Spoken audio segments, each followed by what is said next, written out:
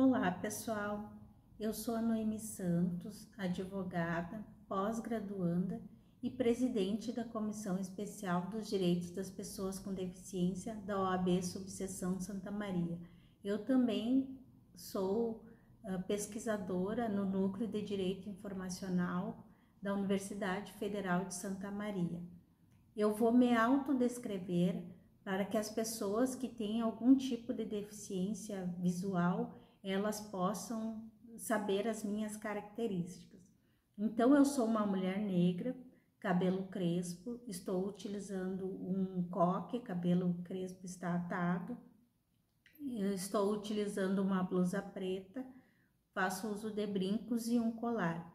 Atrás de mim há um painel de madeira, à minha esquerda e à minha direita um jardim vertical. Então eu vou trazer aqui para vocês sobre o uso da inteligência artificial e da tecnologia assistiva no auxílio de pessoas com deficiência. Primeiramente, então, eu vou fazer um breve histórico da inteligência artificial, as aplicações da inteligência artificial, as tecnologias digitais assistivas, vou trazer exemplos delas, o uso do chat GPT na educação, que vem sendo bastante debatido atualmente, e os principais desafios e características para o uso dessas tecnologias para pessoas com deficiência. Então, um breve histórico aqui da, da inteligência artificial. O desenvolvimento de projetos com o uso de, da inteligência artificial, ela começou no final da Segunda Guerra Mundial, devido à publicação do artigo com o título de Computer Machine Intelligence, de autoria de Alan Turing, em 1950. Neste artigo, então, foi a primeira vez que se discutiram várias objeções à ideia de que máquinas poderiam pensar, expondo seus contra-argumentos. E qual o conceito hoje de inteligência artificial? Eu vou trazer aqui um conceito, existem vários, mas eu vou trazer o conceito que é uh, do professor Jorge Luger, do Departamento de Ciências da Computação da Universidade do Novo México, que ele definia exatamente a inteligência artificial como um campo jovem e promissor e que possui como principal objetivo buscar outras formas de compreender e desenvolver técnicas inteligente, inteligentes para a solução de problemas. Então, as aplicações da inteligência artificial, elas são diversas. Em virtude das crescentes complexidades das tarefas comuns do nosso dia a dia, nossos recursos físicos eles são cada vez mais exigidos. E dessa forma, a solução seria desenvolver máquinas cada vez mais capacitadas para executar funções que nós poderíamos executar. Uma vez que cada ano ocorre uma evolução significativa, então, com relação à inteligência artificial. Tais funções, elas não significam apenas tarefas físicas, elas requerem uma inteligência como cálculos matemáticos aplicados em diversas áreas da tecnologia, tornando o processo muito mais eficaz e de rápida execução. Então, quais são os usos da, da inteligência artificial na área da educação? O uso de sistemas de tutoria inteligentes, do inglês Intelligent Tutoring Systems, auxilia a composição do conhecimento discente em sala de aula. Esses sistemas, então, eles são capazes de adaptar o material de instrução às necessidades individuais de cada aluno, proporcionando um caminho de aprendizagem, de aprendizagem personalizado. Também na medicina é muito utilizada a inteligência artificial.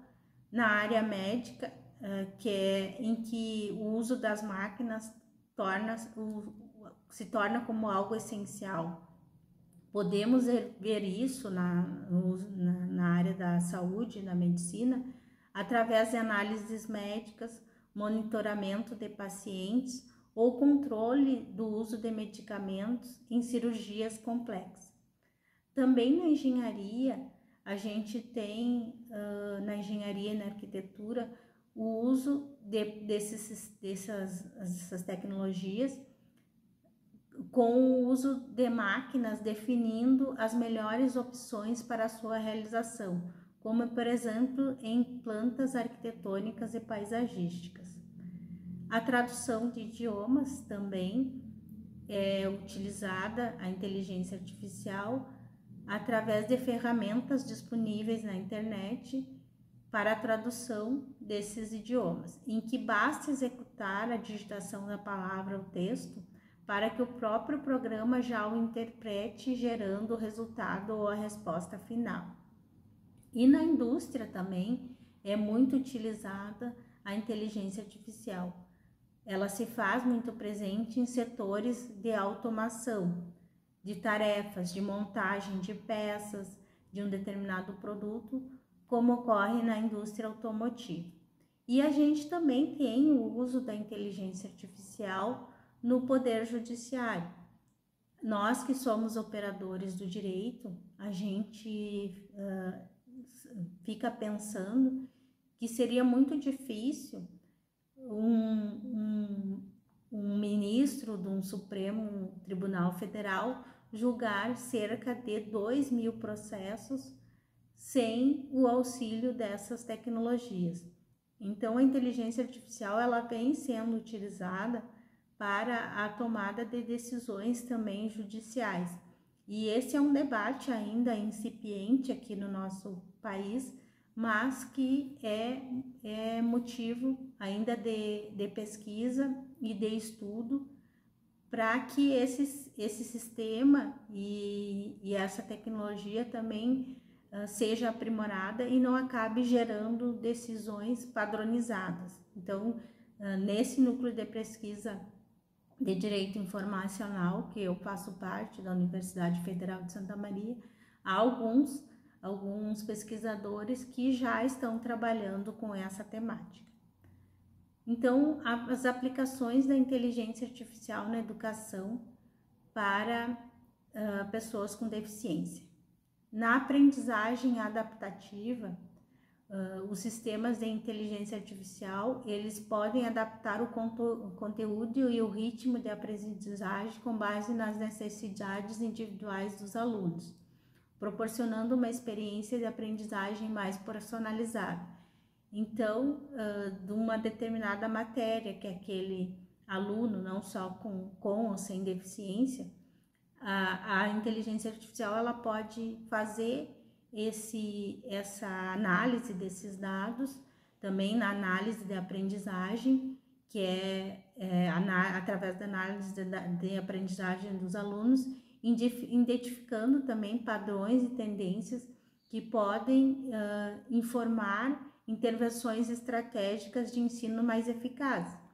Por exemplo, um aluno que tenha uma que através da análise dos dados dele se perceba que ele tem uma dificuldade maior, por exemplo, em resolução de cálculos matemáticos.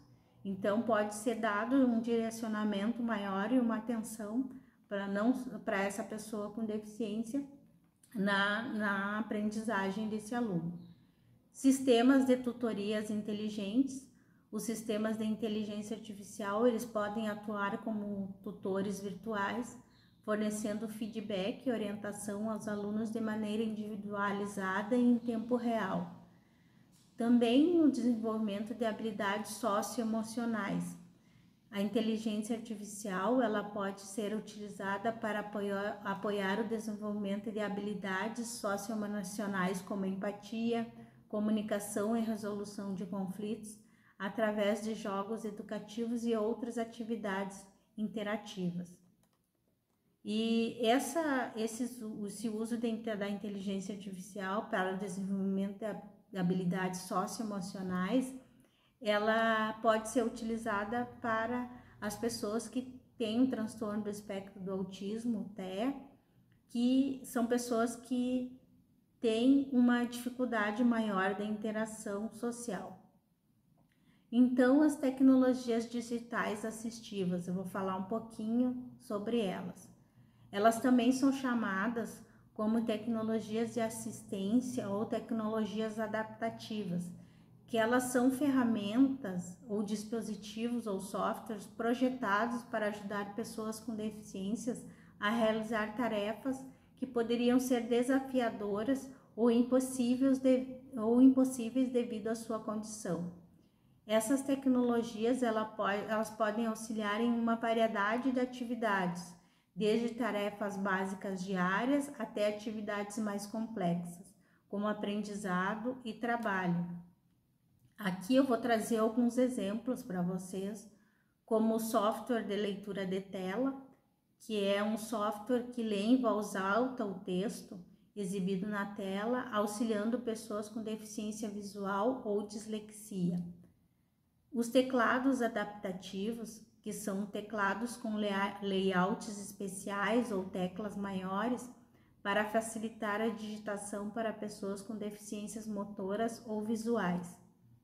Os dispositivos de audição assistiva são esses dispositivos eles incluem aparelhos auditivos digitais e sistemas de loop de indução que ajudam pessoas com deficiências auditiva a ouvir mais claramente. Também nós temos o software de reconhecimento de voz, que é um software que permite que os usuários eles controlem o computador ou dispositivo móvel apenas usando a voz, o que pode ser útil, útil para pessoas com deficiências motoras. Os aplicativos de comunicação aumentativa e alternativa, os AAC, estes aplicativos eles podem ajudar pessoas com dificuldades de fala a se comunicar usando símbolos, imagens ou texto. Então, para as pessoas que têm o transtorno do espectro do autismo, que são não verbais, elas podem fazer o uso dessa tecnologia assistiva.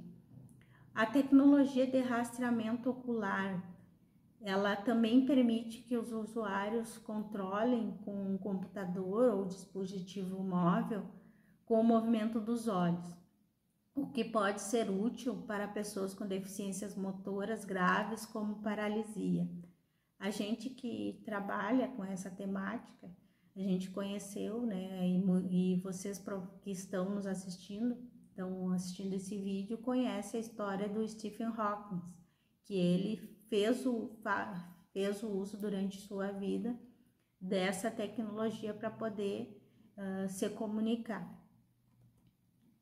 Então, vou falar um pouquinho aqui sobre a Lei Brasileira da Inclusão, que é também denominada Estatuto da Pessoa com Deficiência, que é a Lei 13.146 de 2015 que ela também define uh, o que, que seriam essas tecnologias digitais assistivas. Então, a lei define a tecnologia digital assistiva ou ainda tec, tec, ou ajuda técnica como produtos, equipamentos, dispositivos, recursos, metodologias, estratégias, práticas e serviços que objetivem promover a funcionalidade relacionada à atividade e à participação da pessoa com deficiência ou com mobilidade reduzida, visando a sua autonomia, independência e qualidade de vida e inclusão. Então, essa é a definição, segundo a Lei Brasileira de Inclusão, das tecnologias digitais assistivas. Eu vou trazer um pouquinho aqui para vocês sobre o atual debate do uso do chat GPT na educação.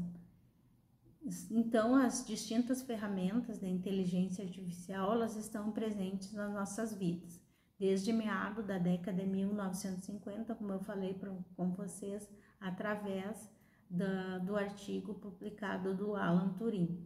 No entanto, a partir de novembro de 2022, quando uma empresa denominada OpenAI desenvolve e aí divulga para o grande público o Chat GPT 3.5, gerando muitas discussões na sociedade contemporânea, internacional e nacional, bem como passa-se a discutir e refletir sobre a presença da inteligência artificial nos espaços escolares e acadêmicos, destacando as tensões e possibilidades dessas tecnologias com destaque para o Chat GPT.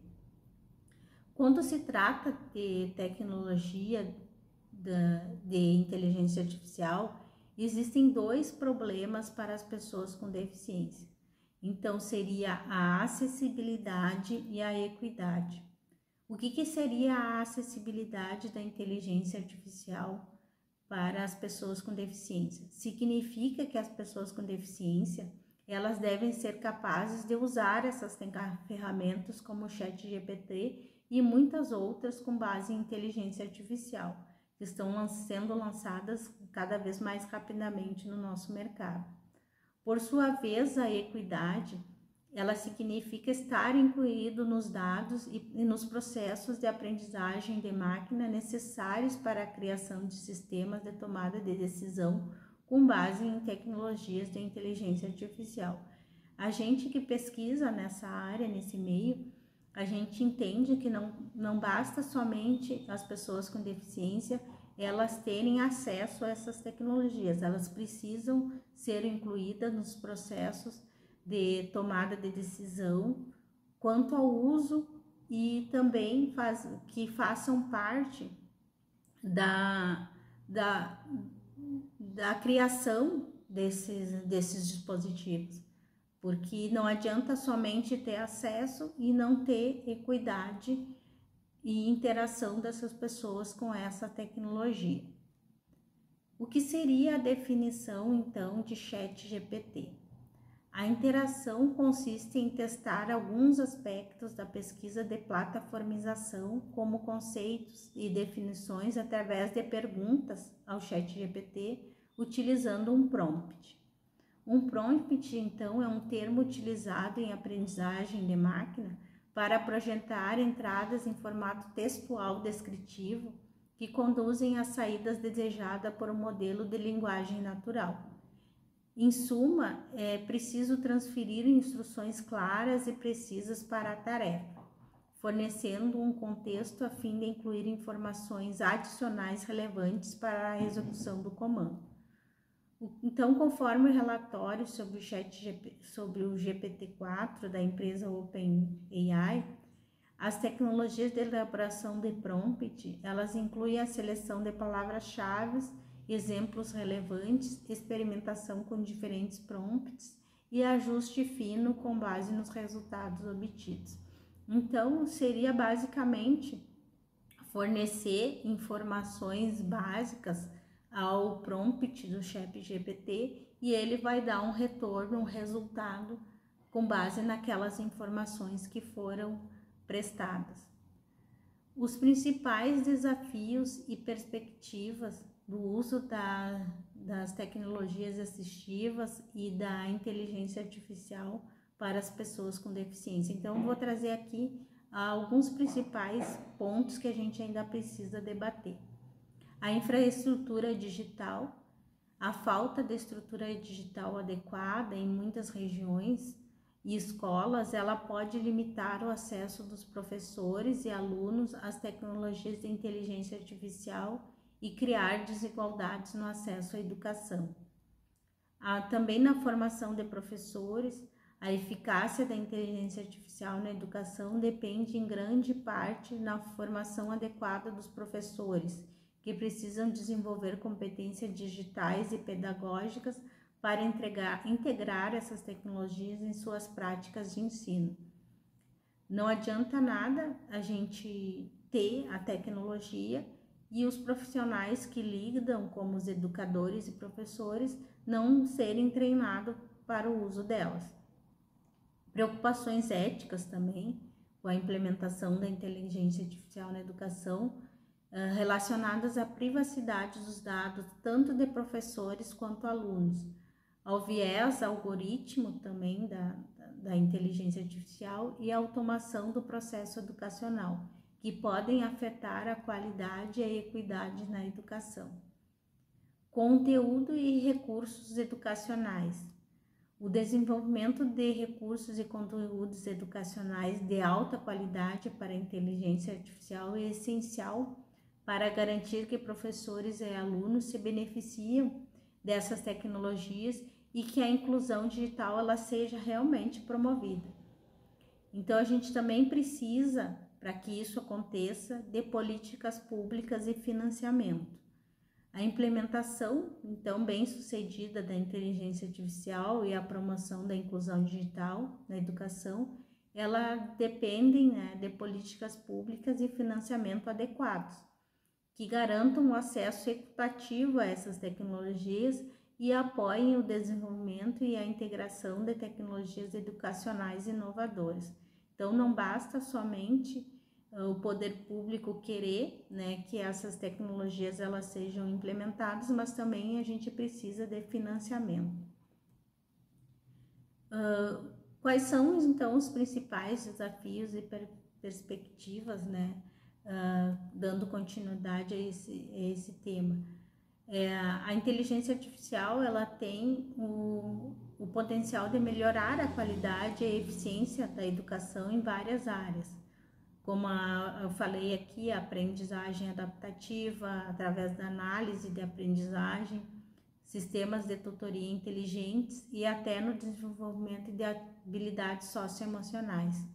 No entanto, a tecnologia, se ela não for desenvolvida com uma, uma perspectiva crítica e inclusiva, ela pode perpetuar e agravar desigualdades já existentes, como, por exemplo, a limitação do, do acesso ao ensino regular com a implementação de tecnologias que, ao invés de promover a inclusão e o convívio social desses estudantes uh, com deficiência, acabem gerando mais exclusão.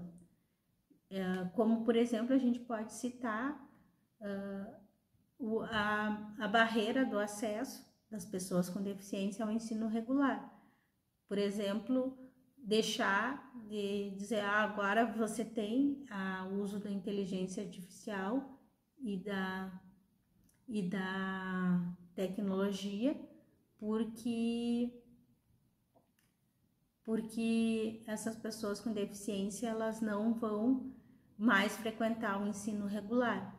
Então isso é um problema para as pessoas com deficiência.